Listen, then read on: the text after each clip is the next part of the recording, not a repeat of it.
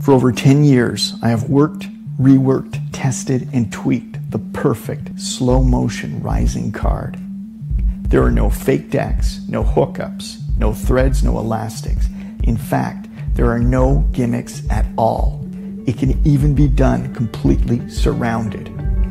Using a mixture of sleight of hand, subtlety, and showmanship, you'll be able to create one of the slowest, eeriest card rises The can be done with one selection, multiple selections, or even thought of cards. Throw away your gimmicks. This is Uprising.